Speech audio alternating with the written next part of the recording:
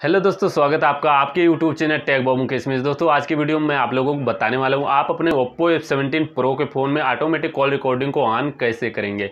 तो दोस्तों, जो भी मैं आपको सेटिंग बता रहा हूँ, आपको अपने फ़ोन में सेम टू सेम फॉलो करना है, जिससे कि आप जो है अपने फ़ोन में ऑटोमेटिक कॉल रिकॉर्डिंग का ऑप्शन अनेबल कर सकते हो।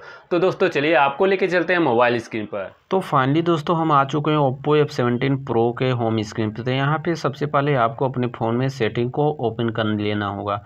तो चलिए हम जो है सेटिंग को ओपन कर लेते हैं दोस्तों, यहाँ पे सेटिंग है तो सेटिंग पर क्लिक करते हैं। सेटिंग पर क्लिक करने के बाद आपको यहाँ पे सर्च आइकान दिख रहा होगा। सिंपली सर्च आइकान में ऊपर ही यहाँ पे आपको टाइप करना है कॉल रिकॉर्डिंग ओके दोस्तों, हम यहाँ पे चलिए टाइप करते हैं कॉल रिकॉर्डिंग ओके दोस्तों कॉल रिकॉर्डिंग टाइप करने के बाद दोस्तों यहाँ पे देख सकते हैं ये एप्लीकेशन है। ऑप्शन सिंपली क्लिक कर देंगे। क्लिक करने के बाद दोस्तों देख सकते हैं, जो कॉल रिकॉर्डिंग का जो सेटिंग खुल गया है तो यहाँ पे सबसे फ़र्स्ट वाले ऑप्शन पे क्लिक करके यहाँ पे ऐड वाले पे क्लिक करके नंबर ऐड कर सकते हैं, जिस नंबर का आप कॉल रिकॉर्ड करना चाहते हैं। ओके दोस्तों?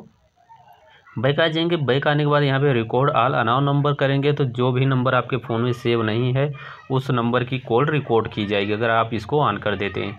और तीसरा ऑप्शन है रिकॉर्ड आल कॉल्स अगर आप इसको ऑन कर देते हैं तो आपके फ़ोन में कोई भी कॉल आते चाहे वो नंबर सेव हो या आपके फ़ोन में नंबर सेव ना हो, सबकी कॉल को रिकॉर्ड किया जाएगा। तो दोस्तों, इस तरीके से कोई भी कॉल रिकॉर्डिंग करने के लिए यहाँ से आप जो है कॉल रिकॉर्ड को ऑन कर सकते हो।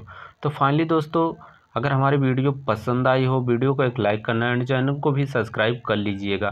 तो दोस्तों, मिलते हैं नेक्स्ट वीडियो में नेक्स्ट टॉपिक के साथ। तब तक के लिए बाय बाय